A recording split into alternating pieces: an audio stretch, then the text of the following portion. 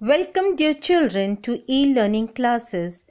Today we shall continue with the lesson number 5 Health and Nutrition. Now, what is balanced diet? Eating a balanced diet means choosing a wide variety of food and drinks from all the food groups.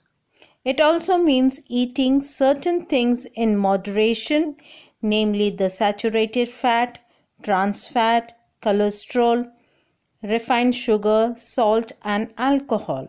The goal is to take in nutrition you need for healthy at our recommended levels. Now, dear children, you must have noticed that when you are small, you take different type of food. As you grow older and older, the food habits also changes. Why it changes? Because your body needs, your body also need nutrition as it grows. Therefore, a balanced diet is required. You need to eat a range of food to get all of the nutrition and fibers for your body. The five main food groups are first the starchy food which includes bread, pasta, rice and potatoes. Next the fruits and vegetable. Next milk and other dairy food. Next meat, fish, egg, beans and other non-dairy source of protein. And last one, foods high in fat or sugar. Eat the right balance of food from these groups to make sure your body gets all it need to stay healthy. What are calories? Your balanced diet must be planned at your own calorie level and portion size is key. You want to get the most nutrition from the calories by choosing food with a high nutrient density. Nutrient dense food provides substantial amount of vitamins and minerals and relatively few calories such as fresh fruits and vegetables, lean meat and fish, and whole grains and beans.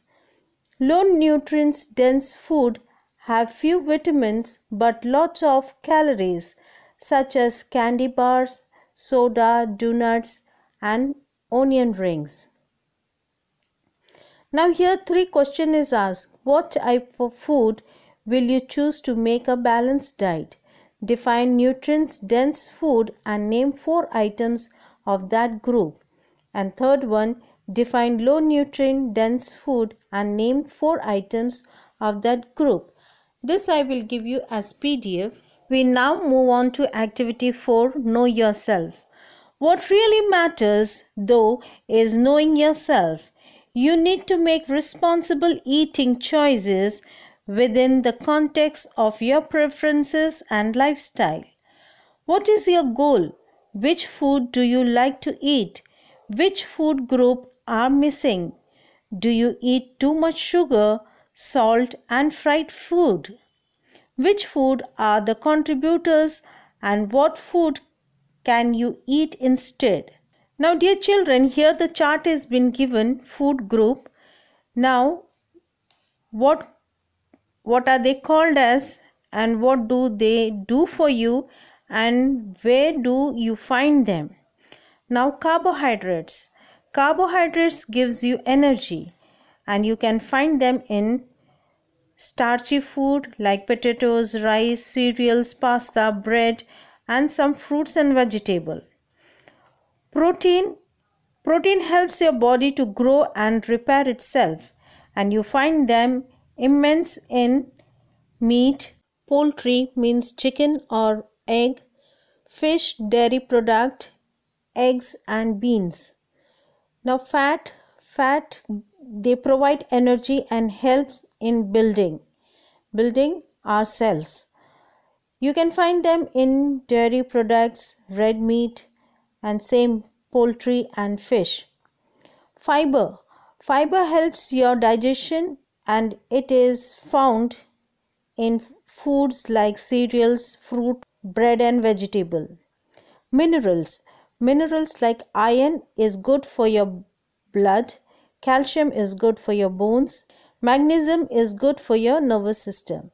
Minerals are in lot of foods but especially in fresh fruit and vegetable. Vitamin A, B, C, D and E. So vitamins they are good for keeping your body healthy. They are good for your skin, bones and teeth and we get from the dairy product milk, egg, butter and fresh fruits and vegetables. Now activity 5 you have to do on your own. It is a chart. You have to study the chart and then you have to make the list what you eat for breakfast to dinner.